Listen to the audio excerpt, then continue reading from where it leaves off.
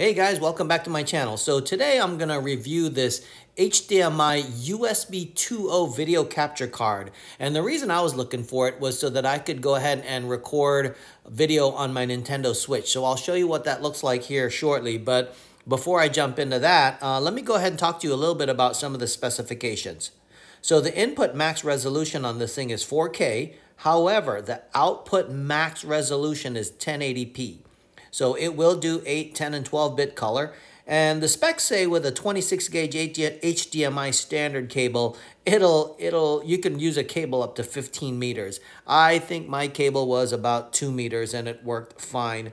Uh, again, it'll work with most any common capture software um, on Windows. I don't know about Mac. I don't have a Mac, but uh, I used OBS, and I'll show you my settings that I used in OBS here shortly.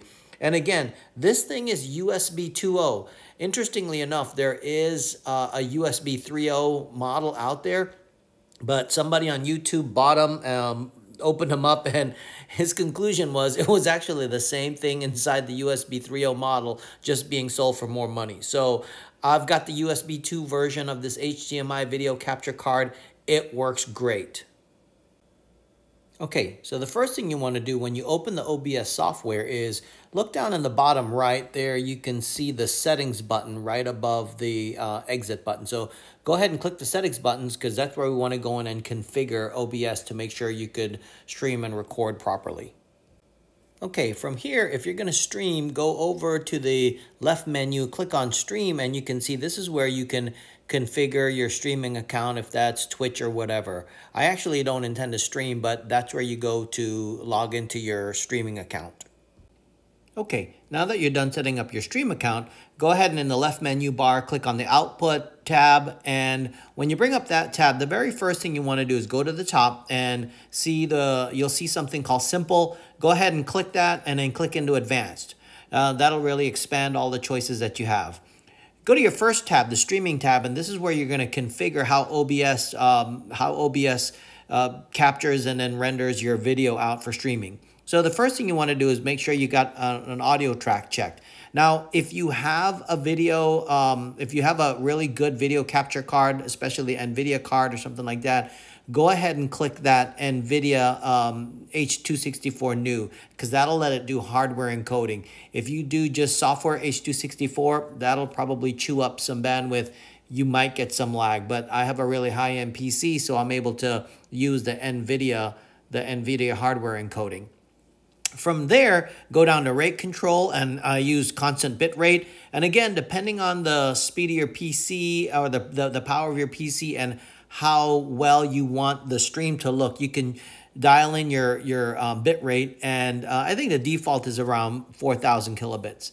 The keyframe interval, go ahead and leave that at 2. And this is where you can also play around with the presets. Um, uh, when I record, I'll show you that in a second. I put it on high, but um, or, or quality or something like that. But maybe if you want to stream, you can do some low latency performance. And then put the profile on high. Go ahead and click the look ahead and the, um, and the psycho visual tuning. Leave the GPU at zero and put the max B frames to one. And that should be good for streaming.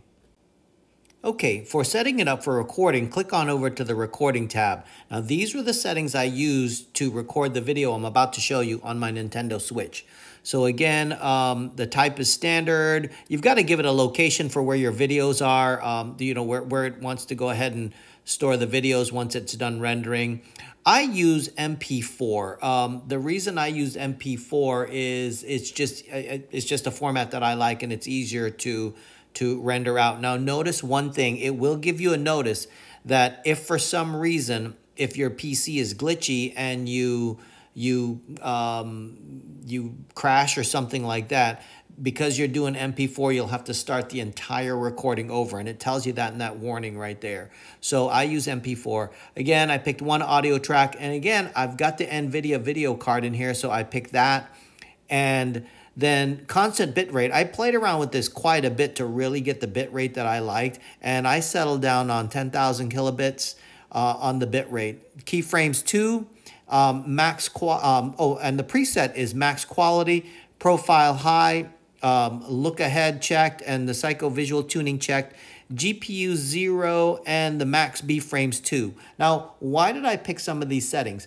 The reason is if I'm going to post these on YouTube, I actually looked up what YouTube likes in terms of encoded video, and these were the values. Um, well, some of these values, the ones that, that, YouTube can specify, were the ones that YouTube was looking for. So that's why I picked these values, and you'll see in the video that that I have, it's going to look great.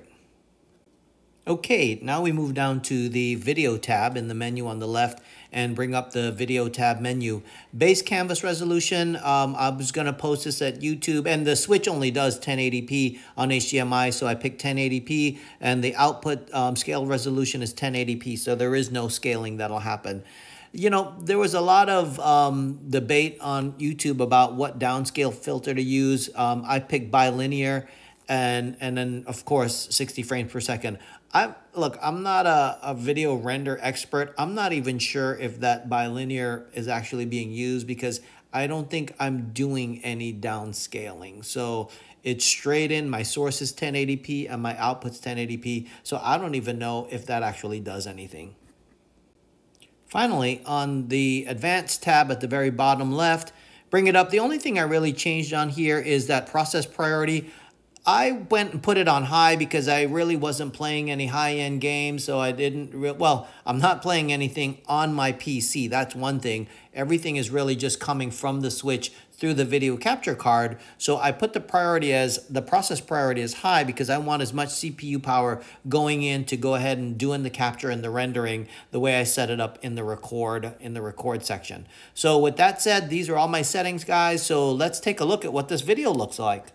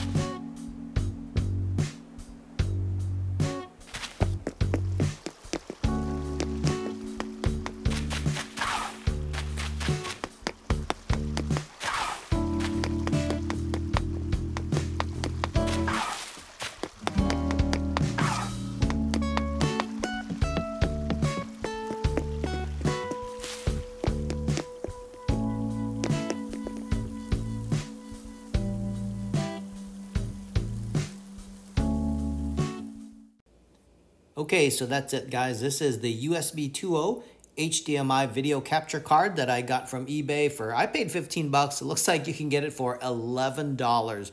Look, I think it's it's worth it. You know, I've hooked it up to my Switch. I can, I, I recorded a video. I don't stream, but clearly with software like OBS, which by the way, if you don't know, Open Broadcast software i think is what obs stands for. That's open source and it's free it's free to use. So for 11 bucks and some free software you can start recording video from your switch see what it looks like. So guys thanks for watching the video. And again this channel is always a little bit about mostly it's about travel food photography and i'm doing a little bit of tech reviews on the side and things like that. So hope you enjoyed the video. If you did go ahead and hit the subscribe button hit the notification bell for when i get new videos and of course, go ahead and hit the like button as well. Thanks a lot, guys. Thanks for watching.